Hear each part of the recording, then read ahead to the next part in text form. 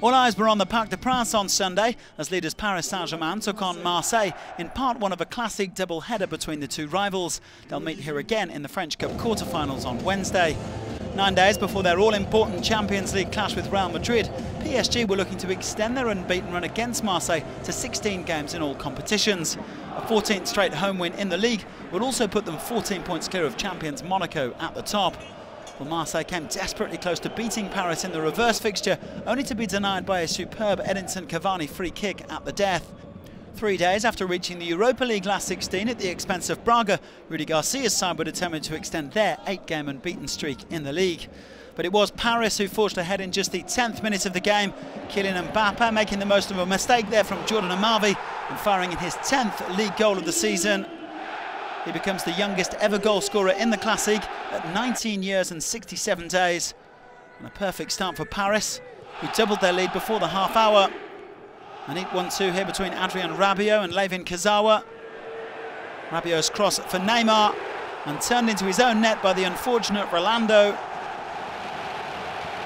Clinical stuff this from Paris, taking a 2-0 lead with just a single shot on target at this point.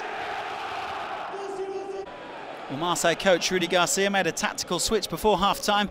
Morgan Sanson replacing Lucas Ocampos.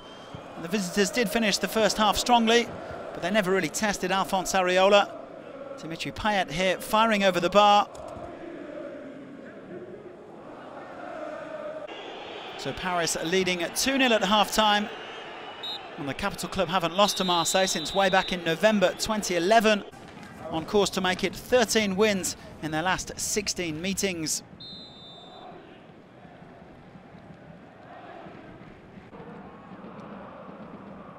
Now the writing was on the wall for the visitors when Paris made it 3-0 on 56 minutes. Great work here from Neymar down the left flank and Edinson Cavani took care of the rest. Ligue 1 Conforama's leading scorer with his 24th goal of the campaign. El Matador getting away from Rolando there. Decidedly, it wasn't the Portuguese defender's night. But it wasn't all good news for PSG as Neymar twisted his ankle 10 minutes from time. Nasty looking injury this for the Brazilian. You can see it here on the replay. Just watch his right foot there. The world's most expensive player had to be stretchered off and he could well miss the big game with Real on March the 6th, although coach Unai Emery said after the game that he preferred to stay optimistic. Having made their three subs, PSG were down to 10 men for the final 10 minutes, but they held on to their clean sheet. Thiago Silva getting across there to deny Clinton N'Jie Areola then getting his fingertips to that cross from Florian Thauvin.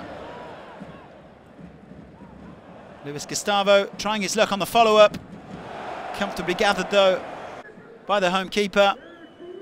As it finished 3-0, PSG are now unbeaten in 50 games at the Parc des Princes since a 2-0 loss to Monaco back in March of 2016.